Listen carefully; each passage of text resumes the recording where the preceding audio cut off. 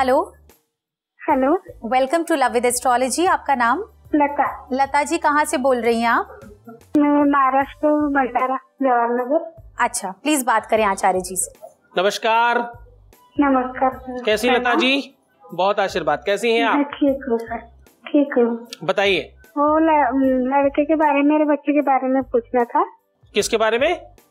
बेटे के बारे में। हाँ हाँ बोलिए। तो उसका नाम स्वप्निल है। और उसका जन्म तारीख है चौदह नवंबर आपला सप्टेंबर।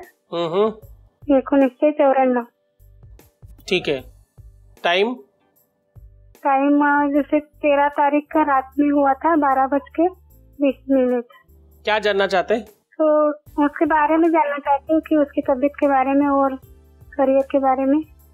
इस बच्चे की कुंडली में पितृदोष वंशदोष परंपरा नैसर्गिक दोष है जिसकी वजह से इनका कोई भी काम में बहुत गति नहीं दिखाई पड़ती। इनको कोई भी जब ये अच्छा काम करने जाएँगे उससे पहले ही कुछ न कुछ खराब हो जाएगा। वो चाहे हेल्थ खराब हो चाहे इनका मन खराब हो चाहे सिचुएशन खराब हो जब भी इनको कुछ प्राप्त होना होगा चाहे इनकी कंपटीशन हो चाहे इनका एग्ज़ाम हो चाहे इनको कोई चीज़ मिलने वाली हो उससे पहले कोई न कोई ऐसी प्रॉब्लम हो जाएगी जिससे वो इस चीज़ को प्रिपेयर नहीं कर पाएँगे। शायद उस चीज़ को नहीं कंप्लीट कर पाएँगे। ऐसी सिचुएशन को ठीक करने के लिए पितृदोष की शांति करानी पड़ेगी। सुदर्शन यज्ञ पूजा करवावे। अगर संभव हो सके नहीं करा सकते तो गाय, कुत्ता और कौवे को निरंतर भोजन दे, रोज नहीं दे सकते, बुधवार बुधवार ज़रूर करें।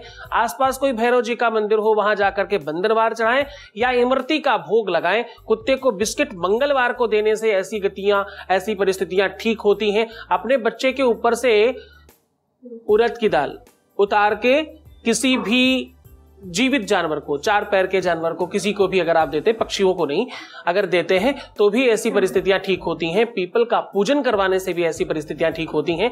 ऐसे उपाय करिए, आपको बहुत जल्दी इसका लाभ मिलेगा। बहुत बहुत धन्यवाद कॉल करने के लिए लता जी, और आप निरंतर आचार्य जी से जुड़े रहिए, क्योंकि यहाँ पर निरंतरता बहुत मायने रखती है। आप उनसे जुड़े रहेंगे तो आपको हर दिन के अपडेट्स मिलते रहेंगे कि कैसे आपको कब क्या करना है। थैंक यू फॉर कॉलिंग अगर आपको हमारा ये वीडियो पसंद आया है तो आप इसे लाइक कर सकते हैं शेयर कर सकते हैं। हमारे चैनल को सब्सक्राइब भी कर सकते हैं।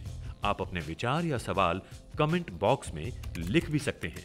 आप आचार्य सतीश जी से मिलने के लिए हमें कॉल भी कर सकते हैं। हमारा नंबर है zero eight zero eight one four two six nine four zero